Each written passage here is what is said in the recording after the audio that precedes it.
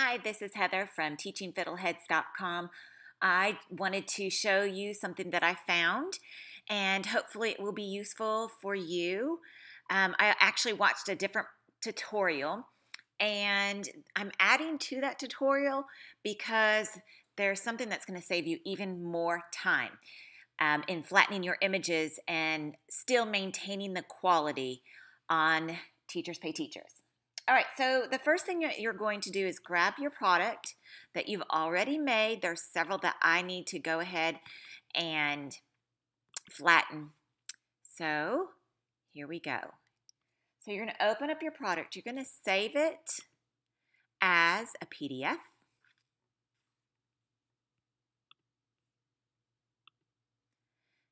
You are going to need this product right here. It's called PDF Toolkit Plus. It's $1.99 in the App Store, but it's going to save you hours of time. So let's export, and we're going to replace that. I've already got it. So then we're going to take this, minimize this here. So I've got my product right there. We're going to take this and we're just simply going to drag that into here and we're going to click on this text images here. And we're going to high resolution 300 dpi and we're going to convert it into a PNG. You could do a PNG or a JPEG. It doesn't really matter. So, oops, sorry. For some reason it got pulled out. All right, so we're going to convert it. I'm going to save it as uh, 1 to 100, and I'm going to save it as finish. Um, I like to save them as different things and put them on my desktop until I'm finished with it, and then I'll put it into a different folder. So we're going to save this onto the desktop as 1 to 100 finish. Save.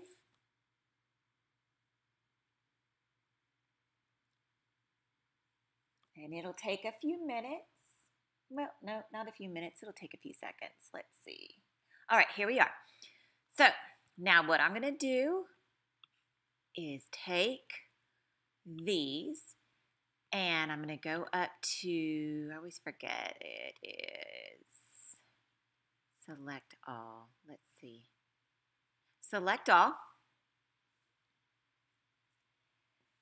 And I'm going to right click and open with preview. And here we are, we're in preview. Now, I want to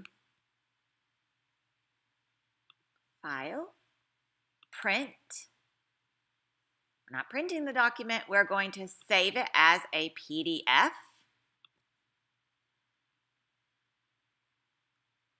And I'm going to rename it again uh, 1 to 100. To 100. And then I'm going to make it done. So it went from finished to done just so I, I can easily identify it. So 1 to 100. Done. Oops. Got fingers today. So I'm going to secure this as well.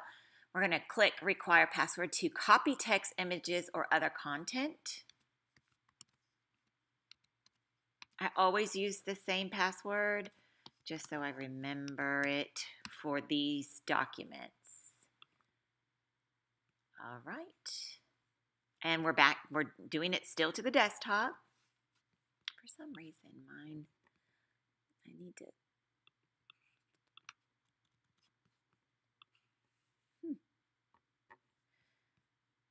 and save.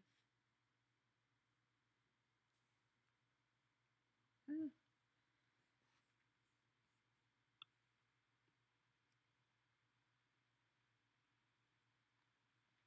All right, so now I've got it. This is so cool. I'm going to exit out of that. I don't need that. So now I've got it on here. Because you save it as a um, because you save it as a 300 DPI, which is going to give you good qualities, you're you've got it at a bigger document. So See, it went from, I don't remember what it was, to the 19.3. That is a lot of space that it's taking up in your computer. So what we're going to do is we're going to compress that file, but still maintain the high quality 300 DPI. Let it finish it doing its thing. Now you don't have to do the 300 DPI if you want to do the 150. That's fine as well, but I like to keep my images really crisp. And that's what I was finding when I was flattening it the other way, where I was just saving it as a JPEG. It was being saved as, as a 72 DPI. And when I went to go print something, you can tell it was kind of fuzzy around the edges. So I wanted to make sure that I could find something to maintain the quality. So I'm going to hit compress and we're going to save it as 1 to 100. Done again. And on the desktop. And save. And we're going to replace it. And guess what? How easy was that? So hopefully I have cut, cut some of your time in half. I was doing this image by image and trying to put it all together. This is the easiest way that I have found to flatten and preserve the quality of your images. Hope this helps.